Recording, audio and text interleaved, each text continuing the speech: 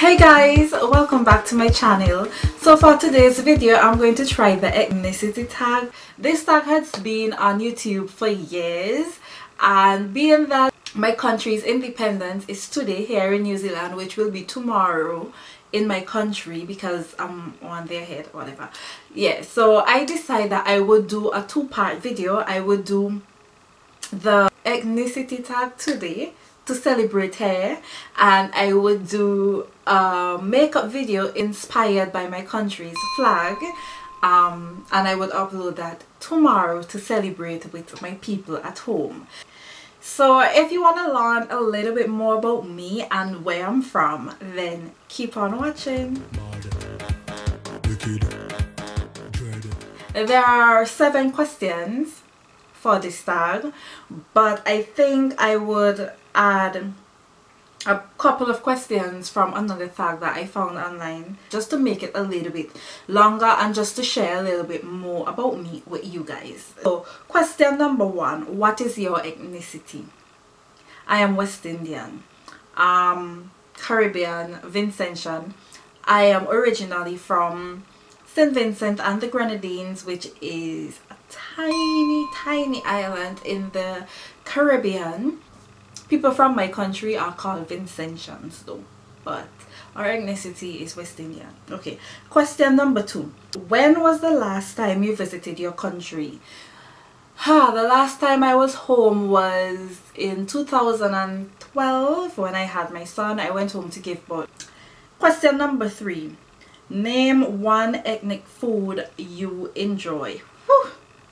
That's, that's so easy. The main ethnic food that I love from back home is roasted breadfruit fried over with stewed saltfish. Next question. One name one household item that best represents your culture. Hmm. okay, the coal pot. Now the coal pot is something that we use outside like to when we're gonna cook something that would use up a lot of gas we would use um, a coal pot add coals or firewood whatever you have you add that in there and then you would cook on top of that. Because growing up I used to love making plum stew. And when I'm making plum stew I had to make it outside because it would just use up too much of my aunt's gas and she would always be cussing me out for that so yeah I always refer to the coal pot Question number five. What part of your country are you from? My island has two parts. It have um, the windward side and the leeward side. I'm from the leeward side and I'm from a little village not too far from the city called Clare Valley. It's a little fishing village. Yeah, our community is very small. So next question. What song reminds you of your country? Um living outside of my country. When you hear like a reggaeton song a lot of people would say oh you know that's your type of music. That's where you're from. But really and truly reggaeton music does not define my country because we don't really put out much reggae out there. That's a Jamaican thing. But our main music is called soca. And whenever I hear a soca song whether it's from my island or neighboring islands like Barbados or Trinidad yeah anytime I hear a soca song it instantly reminds me of home because soca music is really a big part of our culture. It's a big part of us. So yeah it reminds me a lot of my country. Next question. Can you speak the language of your ethnicity I was kind of debating on this or whether or not we have like a language because our official language is English. We speak English throughout but I guess everybody has a dialect in their language. They have a dialect for their language. So we speak a dialect English and I would say something for you. What should I say? Maybe I should say um let us go to school to translate that this is just a random sentence I just come up with so yeah so to say let us go to school you would say in my language um Leah we go to school. Yeah. That's how you say something like that. Okay, so that was the last question from the ethnicity ethnicity tag questions but I would add in some extras which is one were you born there? Yes I was born there. I was born and raised in my country. I left home back in 2011 I went back 2012 and um, I came back here 2013 and since then I haven't been home. I'm missing home so much. I miss my friends. I miss my relatives. And I miss my community. I just miss home you know. I miss going to the beach. I miss just my village. Next question. Are your pet were your parents strict well growing up i didn't live with my mom. I lived with my aunt and she was like so strict so strict.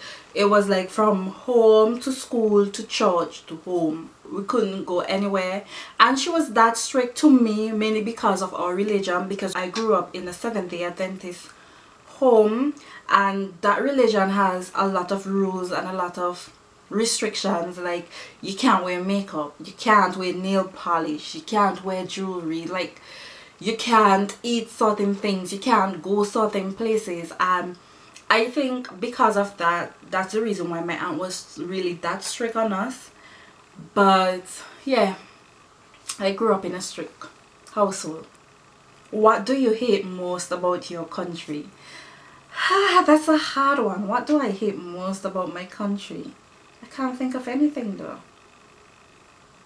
I can't think of anything that I hate about my country. That was a really weird, hard question. It's your country and even though you might not um, agree with certain things that happens in your country, it's not a reason for you to say that you hate your country so I find that a weird question. So I don't have anything that I hate. I don't I can't think of anything that I hate about my country. Next question. Did you have a nickname? uh, is Kimo. Kimo is just short for my uh, my full name which is Kimura. But it's a weird, right? Kimura is my second name but Nikisha is my first name, right? And I used to carry Nikisha to school but people at school never called me Nikisha. There are people that went to school with me and right now they would be like, oh you name Nikisha? People never know that I name Nikisha because everybody called me Kimo or Kimora. It was just stuck and nobody never really called me by my first name. So yeah. Next question. This is the last question by the way. What makes you different from other Vincentians. I don't know if this really makes me different from other Vincentian because everybody has their own personality, everybody has their own priorities, everybody don't get the same opportunity. But I love traveling and I am the type of person that would jump to the first opportunity to travel to, to get to know other people, to know other cultures, to know other things so if if somebody offer me an opportunity to go somewhere like Madagascar uh, somewhere that Vincentian wouldn't normally travel a lot of Vincentian would be like oh no I would not go. They would they wouldn't jump at the opportunity. But for me I would. So yeah I think that um, set me aside from a lot of Vincentians and the reason why I brought up that point is because I was in the situation before where I chose to go somewhere that people from my country wouldn't normally go and then the people that I thought were my friends they were the one who really say well oh um what is she doing there? Suppose the kidnap her suppose this happen suppose that happen. And I was like really? In this day and age people thinking about that? What happened to want to travel the world and know other cultures and learn different things. What happened to you know like that type of education? Like I don't know. Like people find that it was weird that I choose to travel certain places and yeah I would say that set me aside from a lot of Vincentian. Anyways with that said that was the last of the questions I hope you guys enjoyed it. Yeah if you like this video please give it a thumbs up. If you would like to see me do more tag videos or if you would like to see me do a special tag in particular um, let me know down in the comment section and I will definitely do it because I feel like me doing tag videos is a way of me letting you guys know more about me. And don't forget to hit that subscribe button guys. I know a lot of you watch my videos but keep forgetting to hit that subscribe button. Don't forget today just hit the red and white button down below. And yeah happy independence to my country. Um you guys at home enjoy the independence but be safe be careful. I'll catch you guys in my next video. Bye guys